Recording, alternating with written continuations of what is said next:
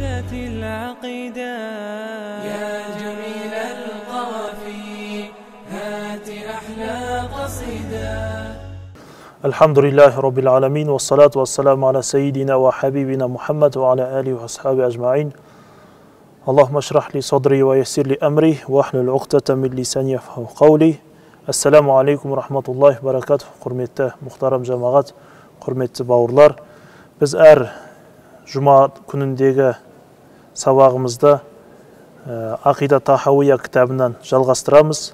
Алдыңғы дәрісімізде біз пайғамбарымыз саллаллаху алейхи хақысы жайында пайғамбарымыз саллаллаху алейхи ә, осы үмметке жіберілген соңғы пайғамбар екендігінде жайында ә, біраз ә, сенім мәселелеріне тоқтадық.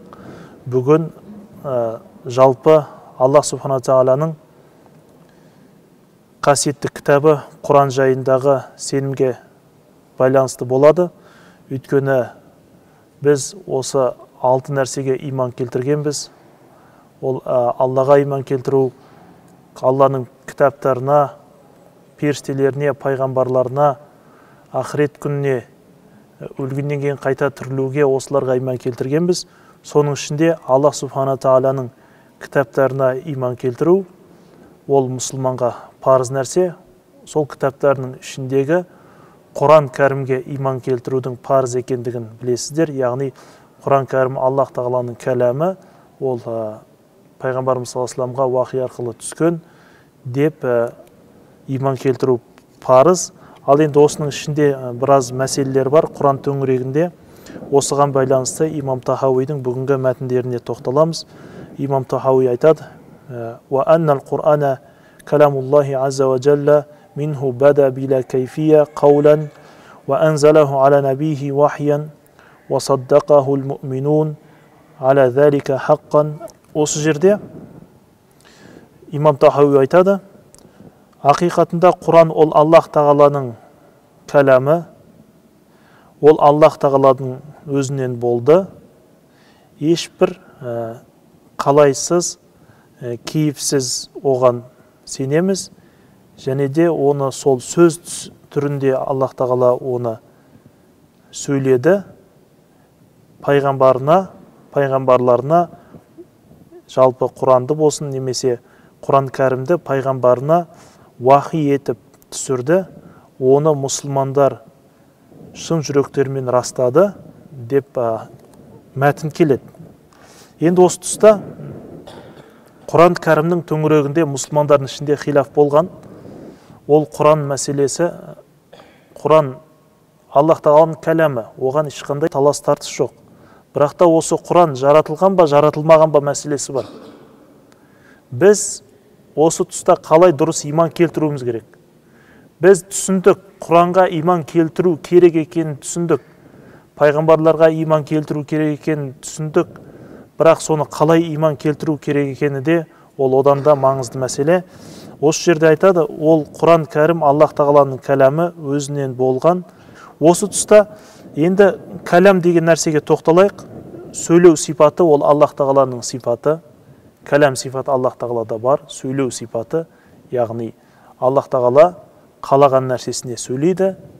Бірақ та осы жерде біз ажыратып алуымыз керек. Аллах субхана тағаланың сипаттары ол ежелден басталусыз өзімен бірге. Ал біздің сипаттарымыз ол жаратылған бастауы бар шектеуі бар. Біз бізде де сөйлеу сипаты бар. Мақлұқаттардың бәлкім бәрінде бар шығар. Әрбір нәрсенің өзінің тілі бар. Адам болсын жын болсын ә, періште болсын тіпті хайуанаттардың өздерінің ә, тілі бар. Бірақ та аллах субхана тағала әркімге әр, әр нәрсе қылып әртүрлі қылып берді. Осы жерде ә, біз тоқталатын нәрсе биля кайфия яғни аллах тағаланың сөйлеу деген кезде біз аллах тағаланың сөйлеу сипаты бар құран аллах тағаланың сөзі деп тоқтаймыз болды. Ал біздің сөйлеуіміз немен еді? Біздің сөйлеуіміз дауыспен дауыспен болады. Бір әріптерді шығару арқылы бір үндерді шығару арқылы бір құралдардың бір мүше құралдардың көмегі арқылы сөйлейміз. Бірақ аллах субхана тағаланың сөйлеуі бұдан пәк. Аллах тағала сөйлейді бірақ дауыссыз. Түсіне алмайсыз сіз оны. Ақиқатында бірақ солай. Дауыссыз. Неге дауыссыз дедік? Өйткені дауыс деген нәрсе жаратылған. Жаратылған нәрсе. Әріпсіз аллах тағала сөйлейді әріпсіз бірақ оны сіз білмейсіз. Сондықтан иман парыз болды. Ал дауыспен әріппен дейтін болсақ онда біз бір жаратылған нәрселерді аллах тағалаға теңеген боламыз. Тіпті аллах тағала сөйлейді дауыспен әріппен бірақ дауыспен әріп ол ежелден жаратылмаған деген сөздің өзі қате дейді ғұламалар. Яғни дауыспен деген нәрсе дауыс деген ол бір шектеулі нәрсе. Не арқылы шығады? Адамның бойында бір ауа арқылы ә, тамақ жаңағы кеңірдек таңдай тіс тіл сияқты құралдардың арасынан шығатын нәрсені не дейді? Ол дауыс дейді. Бірақ аллах тағала ондай нәрселерден пәк. Аллах субхана тағала ондай нәрселерден пәк. Енді осы тұста құран жаратылған ба жаратылмаған ба мәселесі кетеді. Әхлі сүнна уал жамааттың сенімінде яғни төрт мазхабтың сенімінде бүткіл ғұламаларымыздың сенімінде құран аллах тағаланың кәләмі ежелден өзімен бірге жаратылмаған болды. Ал муътазила деген топ болған муътазила деген топ болған олар құранды жаратылған дейді.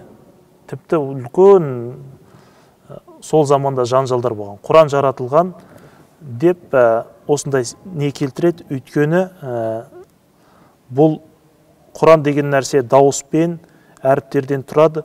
Бұның бәрін ә, аллах тағала нетуі мүмкін емес бұны аллах тағала жаратты дейді. Жоқ ә, құран аллах тағаланың кәләмі ешбір ә, жаңағы жаратылмаған. Енді осы тұста иә құранның негізгі мағынасы жаратылмаған. Ол аллах тағаланың кәләмі. Ал бірақ біз күнделікті оқып жүрген құранымыз ол құранның бетіндегі парақтар және де жазулар құранды оқып жатқан кезде шығып жатқан дауыстар оның бәрі әрине жаратылған. Бірақ негізгі құранның негізгі нәрсесі ол жаратылмаған. Жалпы болмыс деген нәрседе екі түрлі болады. Бір, бір бар нәрсе бар ол бар бірақ ол сіздің көз алдыңызда тұр. Ол көз алдыңызда тұр. Мысалға бір кітапты алайық көз алдыда бар болатын нәрселер бар тағы да бір нәрселер бар көз алдыңызда жоқ. Бірақ сіздің неңізде бар ол санаңызда бар. Санаңызда ол бар. Мысалға қараңыздар кітап. Ол бар нәрсе оны сіз көзбен көру арқылы бар екенін біліп тұрсыз. Екінші басқа бір нәрселер бар. Мысалға ақылдылық деп айтайық. Ақылдылық деген ұғым бар. Ол бар ғой негізі. Ақылдылық деген нәрсе бар парасаттылық деген нәрсе бар. Бұлар мағынауи нәрселер. Бұлар бар бірақ не, істейді? Ол суреттелмейді. Әне ақыл ақылдылық деп айтылмайды ғой. Олар сипаттар. Сол сияқты құран кәрімнің негізі ә, түпкі мағынасының бәрі ол бар ол жаратылмаған. Ал бірақ күнделікті оқып жүрген жаңағы нәрселеріміз ол әрине ол әріптері олар кәдімгі жаратылған нәрсе. Түсінікті болды ғой? Жалпы сіз тақтаға тұрып бір нәрсе жазсаңыз мысалы алла деп жазсаңыз тақтаға ол алла тағала емес қой? Ол алла тағала екендігін білдіріп тұрған бір жазу ғана болды. бірақ ол негізінде алла тағала емес қой. сол заттың дәл өзі емес қой. сол сияқты ә, бұл күнде оқылатын әріптерден тұратын сондай беттерден тұратын құранды қарап ә, бұл құран жаратылған деп сенім келтіру ол әрине қателік.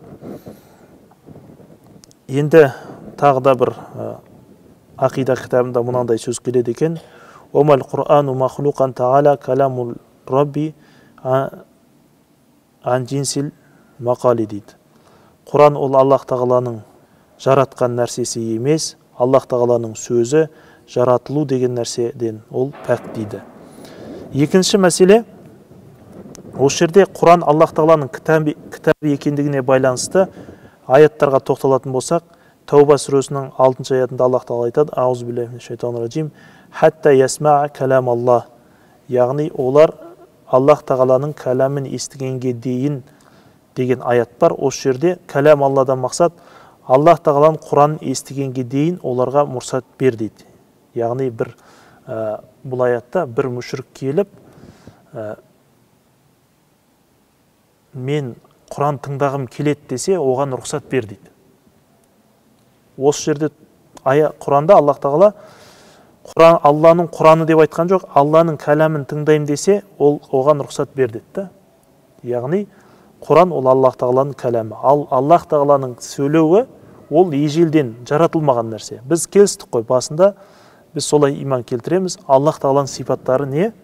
Ол жаратылмаған. Құранда аллах тағала айтады фатх сүресінің 15 бесінші аятында. Олар аллах тағаланың кәләмін сөзін өзгертуге тырысады деді өзгертуді қалайды деді. Бұл жердегі барлық тәпсірлерде не деп келеді? Яғни аллах тағаланың құранын өзгертуге тырысады дейді әрине ол құран өзгертілмейді өйткені құран аллах тағаланың пайғамбарына берген мұғжизасы өзінің кәләмі. Қиямет қайымға дейін құранды сақтауға аллах тағала уәде берген. Құранда аллах тағала не дейді? Біз ол құранды түсірдік және де оны біз ақыретке дейін не істейміз дейді? Сақтаймыз дейді. Яғни аллах тағала өзін айтып отыр. Кез келген әлемдегі құрандарды алып қараңыздар ешқандай не жоқ?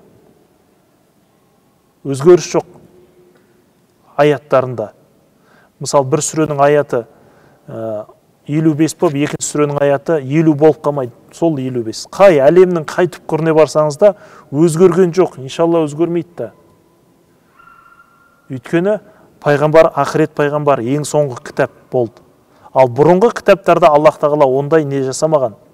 Бұрынғы кітаптарда бұрынғы инжел таурат забурларды қауымдар өздерінің сол кездегі жағдайларына байланысты сол кездегі әр кітап иелерінің нәпсі қалауларына байланысты сол кездегі патшаларының саясаттарына байланысты олар не істеді?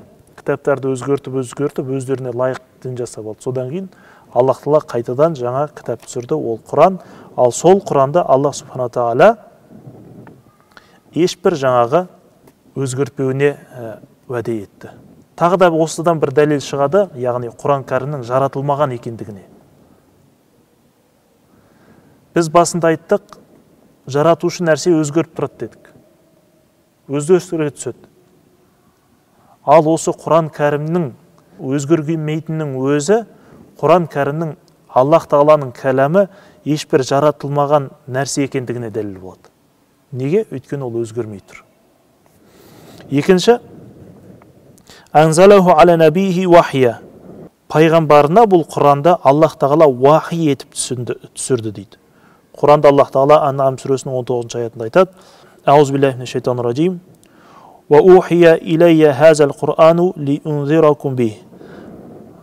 құранда аллах тағала айтады яғни пайғамбардың тілімен маған бұл құран түсірілді мен сіздерді бұнымен ескертуім үшін дейді яғни осы жерде аллах тағала құранды уахи етті деген мағына шығады енді осы жерде уахи деген нәрсені түсінсек кейде аллах тағаладан құран түсті деген кезде ә, адамдар ойлауы мүмкін. Ол аспаннан бір кітап болып өстіп пайғамбардың алдына келіп түсе қалды.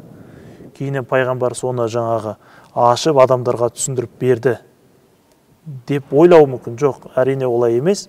Біріншіден пайғамбарымыз саллаллаху оқу жазу сызу білмейді.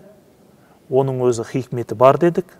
Яғни бұрын кейіннен келген қауымдар немесе айналасындағы дінсіздер бұны пайғамбар өзі үйінде жазып жатыр немесе өзі біреулерден оқып алып көшіріп сіздерге жеткізіп жатыр деп айтпас үшін пайғамбарды аллах тағала әріп танымайтын жаза алмайтын сыза алмайтын етті. Яғни пайғамбарға келіп жатқан нәрсенің бәрі тікелей алла тағаладан екендігіне дәлел болу үшін. Енді уахи деген нәрсе не? Уахи деген нәрсе алла субхана тағаладан белгілі бір пайғамбарына періштесі арқылы жіберейіл періште арқылы немесе түс арқылы жіберетін хабарларын уахи дейді. Бұл уахидің түр түрі бар. Пайғамбарымыз саллаллаху алейхи сахих бұхариде бірнеше риуаяттар бар айша анамыздан абдулла ибн аббастан риуаяттар келеді сондай пайғамбарымызға уахилар түспен келуші еді дейді пайғамбарымыз түсінде сондай бір алладан үкімдер келгендігін түсінде ұғып кейін соны жеткізуші еді дейді кейде жебірейіл періште сол періште халінде келіп беретін еді дейді кейде жебірейіл періште бір адам халінде келіп беретін еді дейді кейде пайғамбарымыз саллаллаху алейhi вассаламға уахи түскен кезде бір ә, қасындағы адамдар да сезетін еді дейді. Бір араның ызыңдаған дауысы шыққандай пайғамбарымыз саллаллаху вассаламға бір қоңыраудың сыңғырлаған даусындай болып уахи келетін еді дейді. Бірақ та пайғамбарымыз саллаллаху вассалам сондай дауыстардың ішінен ұғынатын болған. Бұның осындай мағынадағы айтылып жатқандығын. Бірақ пайғамбарымыз саллаллаху алейхи уассаламға бұл ұлық кітапты алла субхана тағаланың кәләмін іші хикметпен даналыққа толған әділдікпен ә, туралыққа толған екі дүниенің мәңгілік бақытын жеткізіп тұрған бұл ұлы кітапты аллах тағаладан бұлай қабылдау әрине пайғамбарымыз саллаллаху ол өте ауыр тиді. Тіпті риуаяттарда келеді. Пайғамбарымыз саллаллаху алейхи түскен кезде қатты терлеп кететін еді дейді. Пора пора тері шығып қатты бозарып кейде денесі суып кететін еді кейде бүткіл денесі қыз, қызып кейде есінен танып жаңағы қозғала алмай қалатын еді дейді. Әрине пайғамбарымыз саллаллаху вассалам пайғамбарлық міндетін өзінің үмметі үшін осылай атқарды. Осы үммет үшін сол қиыншылықтардың бәрін аллах тағаладан пайғамбарымыз саллаллаху алейхи ол көтерді. Біздерге енді осы аллах субхана тағаланың құран кітабына пайғамбарымыз саллаллаху алейхи аллах тағаладан қиындықпен қабыл етіп біздерге жеткізген құранына амал жасау біздерге иншалла уәжіп болады. Яғни осы тұста мұсылмандар құранды рас деп қабылдады және жүректеріне солай сеніп жеткізді дейді. Енді осы жерде құранның келу жолына кішкене тоқталсақ. Құран негізінде білесіздер 23 жылда түсті. 23 жылда түскенде мынандай ойламауымыз керек. Ол әр кезде әр жағдайға байланысты түсті. Содан кейін бірінші фатиха түсті екінші бақара сүресі түсті үшінші али имран сүресі түсті деген ол қате. Ол әртағалай түсті. Мысалға бақара сүресінің ішінде меккеде түскен аяттар меккеде түскен аяттар бар мединеде түскен аяттар бар. Біреусі пайғамбарымыздың бірінші жылдарында түссе біреу бір аяттар бар пайғамбарымыздың соңғы жылдары түскен аяттар бар. Сондай әртүрлі халде болған. Бірақ жебірейіл алейхисалам пайғамбарымыз саллаллаху алейхи қайтыс болатын жылы келіп рамазан айында екеуі бірге құранды тилауат еткен кезде жебірейіл алейхисалам аллах тағаланың әміріменен сүрелердің атын қойды. Бұл сүре фатиха. Бұл сүре бақара. Бұл мына аяттар фатихаға жатады. Мына аяттар бақара сүресіне жатады. Мынау тәуба сүресі бұның аяттары мынау деп мынау бірінші аяты мынау екінші аяты деп оны аллах тағаланың әмірімен кім? Жибрил алейхисалам жеткізді. Екінші құранды пайғамбарымыз саллаллаху алейhi кезінде белгілі бір кітап қылып жазбаған. Сахабилер бір қағаздарға немесе бір терілерге былғары дейміз ғой. Соларға ағаштарға жазып алып жүретін болған. Османның кезінде бір соғыста жетпіске жуық құранды жатқа білетін сахабилер не болады? Шахид болып қайтыс болады. Бірінші себеп. Екінші себеп құрандар әртүрлі жақтарға сахабилер кеткеннен кейін бұл арабтар өзі қабила қабила яғни тайпа тайпа болғандықтан әр тайпаның өзінің диалегі болды сөйлеу. Солар құранды қабылдады сахабилерден. Бірақ өздерінің тіліне салып оқи беретін болды. Ол жерде мағыналар өзгерді мұсылмандардың арасында не болды? Келіспеушіліктер пайда болды. Осы тұста құранды жазып шығу керек деген нәрсеге сахабилер келісті. Ал енді құранның жазып шығу оңайға түскен жоқ. Зәйд ибн сәбитті бекітті соған. Өйткені сол құранды көп риуаяттарын білуші сахабилер. Үлкен кеңес құрылды. Абдулла ибн аббастан құранның түбегейлі тәпсірлеріне дейін білетін сахабилердің бәрі кеңес құрды да шарт қойды. Кім? Құрандарды жеткізіңдер деді. Ол сахабилердің көкірегінде ғой ол негізі құран. Біреу пайғамбарымыз саллаллаху біразын жаттап алған біреу біразын жаттаған біреу толық жаттаған. Бірақ деді әркім өзінің жеткізген аятына екі куәгер алып келсін деді. Ол қатты шарт қойды да. Иә мен пайғамбар саллаллаху алейhi естідім осылай уахи түскен осы құран осылай түскен деп оқи салмаған олар. Әрбір аяттарына сүрелеріне куәгерлер арқылы әкеп яғни екі үш сахаби бірігіп келіп иә осыны пайғамбарымыз саллаллаху алейhi уахи етіп біздерге оқыған деп жаттап жеткізген. Сондықтан құранның келу жолы біздерге мутауатир дәрежесімен келді. Мутауатир деген сөз бір хабарды бір оқиғаны бір сондай өте сенімді өт, бәрі жиналып алып бір өтірік нәрсеге келісіп алуы мүмкін емес қауым топ жеткізуді мутауатир жол дейді. Яғни құранды бізге сол үлкен топ жеткізді сахабилер. Мысалы фатиха сүресін барлық сахаби жеткізді. Сондықтан ол мутауатир дәрежесінде болғандықтан құранның бірде бір аятында жету тарихында күмән жоқ. Бәрі таза үлкен топ халықпен жеткен. Сіздерге түсінікті болу үшін айтайын. Мысалға мутауатир деген нәрсе не ол? Мутауатир деген нәрсе ә, жаңағы анықтамасын айттық енді мысалын айтайық. Мысалға қазақстан мемлекетінің тәуелсіздігін 1991 жылы алды. Сөйтіп бізге келді ғой. Солай ма? Мысалы 2000 жыл туылған бала болса ол жасы өсіп 2007 жылы бірінші сыныпқа барды да сол мағлұматты естіді. Талас тартыс жоқ.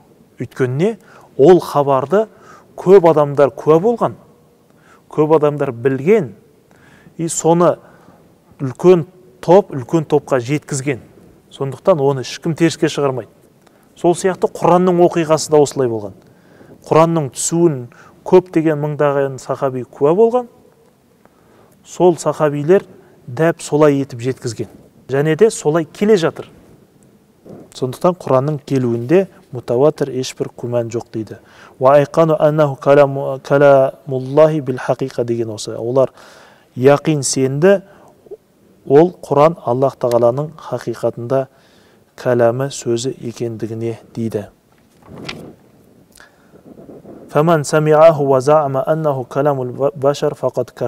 Кімде кім құранды естіп құранды естіп кейіннен ой бұл алла тағаланың сөзі емес бұл бір пенденің сөзі құрастырылған деп айтатын болса ол діннен шығады деді өйткені аллах тағала құранда мынандай аят келтіреді муддасир сүресінің 25-26 аяты аузубиллахи ин хаза илля қаулул башар сауслихи сақар кім осы құранды тек бұл пенденің сөзі деп айтқан болса мен оны қайнаған тозаққа тастаймын дейді алла тағала бұл сөзден яғни бұл аяттан шығатын мағына дейді ғұламалар яғни аллах тағала кім құранды пенденің адамдардың сөзі деп айтатын болса оның дұрыс емес екендігін ескеріп оның орны азап болатындығын ескеріп жатыр дейді. Осы ескертуі құран кәрімнің тек аллах тағаланың сөзі екендігіне дәлел болады дейді.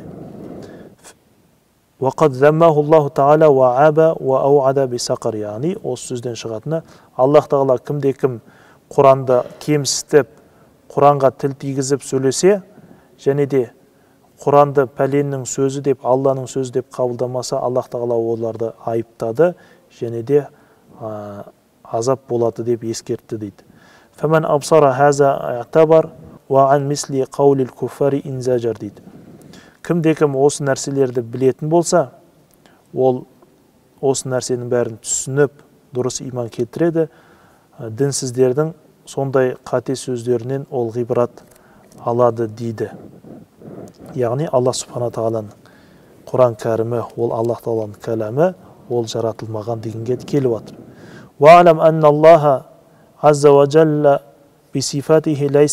жатыр деп тағы ескертіп кетті. Біліңіз аллах тағала сипаттарында ол ә, пенденің сипаттарында емес деді. Осы тұста яғни аллах тағаланың сөйлеу сипаты ол бір ешбір ә, қалай деуге кейіпке енуге алла басқа бір пенделердің сөйлеу сипатынан ада екендігін одан пәк екенін аллах тағала ескертіп жалпылай түсіндіріп жатыр осымен дәрісімізді аяқтайық иншалла тыңдағандарыңызға алла разы болсын уахиру дауана алхамдулиллахи раббил аламин فتاة العقيدة يا جميل القوافي أحلى قصيدة